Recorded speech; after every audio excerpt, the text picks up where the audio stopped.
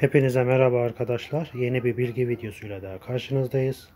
Arkadaşlar bugün ATV motoruma akünün artı kutup başını ayıran bir e, düğme yaptım. Bunu ne için yaptım?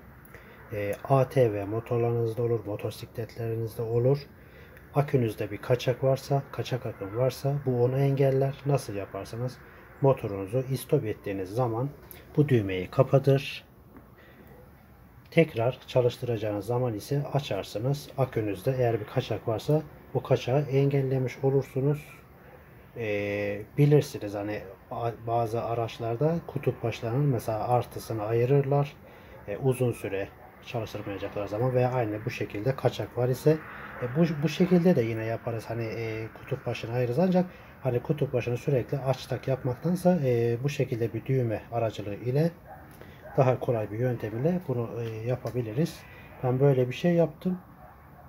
E, motorumda e, kaçak aslında yok. Ancak şu aralar akü ile ilgili bir sıkıntı var. Onu uğraşıyorum. Tam olarak çözemedim. Çözersem e, problemin neden olduğunu videosunu çekeceğim. Sizinle de paylaşacağım. Arkadaşlar.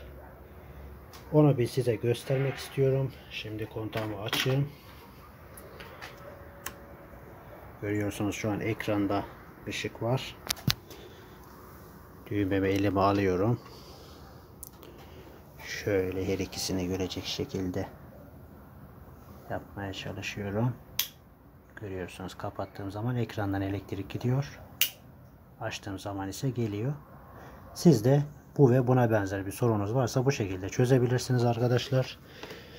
Ee, düğmenizi ise motorunuzun şöyle iç kısımlarını arkadaşlar şuralara bir yere monte ederek ben e, yaparsam eğer e, şöyle bir şey düşündüm. Hemen şöyle elimi şuradan sokup açabileceğim şekilde kolay bir yöntem olarak bu iç tarafa düşündüm. Hem e, su görmemesi için hem de e, daha kolay olacağı için. Ancak e, motorunuza e, kabloyu veyahut da e, bu düğmeyi değdirmemeye çalışın ısındığı zaman. Görüyorsunuz ekranınızı kapatıyorum.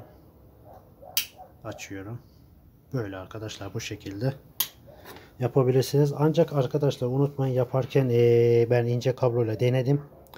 E, sürekli yapmayacağım bunu. Şu an e, size bu videoyu çekmek için göstermek için yaptığım kablo ince e, çalıştırdığınız esnada ısınma yapıyor. Daha e, kalın canlı e, bir kabloyla yapın. Bir sıkıntı problem yaşamamanız için. Öyle arkadaşlar. Bu ve buna benzer sorunlarda bu şekilde e, geçici de olsa e, ömürlük de olsa böyle bir çözüm bulabilirsiniz. Kanalıma abone olup beğenmeyi unutmayın. Hoşçakalın arkadaşlar.